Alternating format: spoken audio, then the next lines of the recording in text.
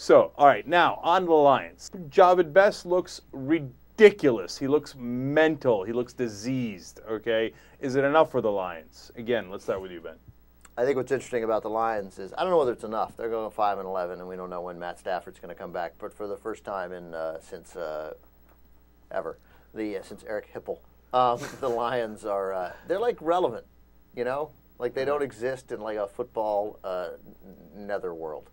Um, you know, uh, Calvin Johnson, Jahvid Best, Stafford's good when he comes back.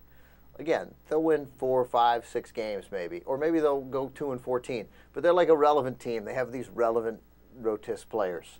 They matter. It's the Lions. Like, pay attention to the Yeah, Lions. and they The seem to have hey, a plan too, Right, which they they, never had. You know, Right, they had Matt. Millen just sort of like doing whatever each Now year. they have, now uh, they have former Redskin uh, defensive back Martin Mayhew. Um, but now it's uh, now you look at the Lions and you're like like you might think, hey, the Lions are on. They're not going to have the worst Fox announcers every week.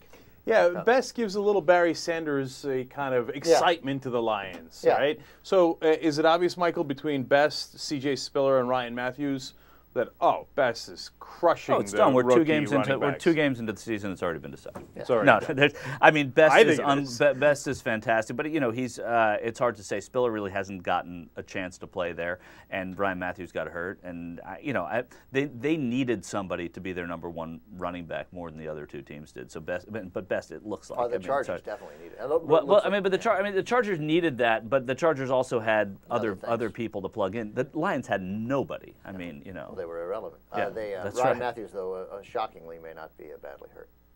Yeah, no, Yeah, he seems like he's is going to great, be okay. yeah. yeah.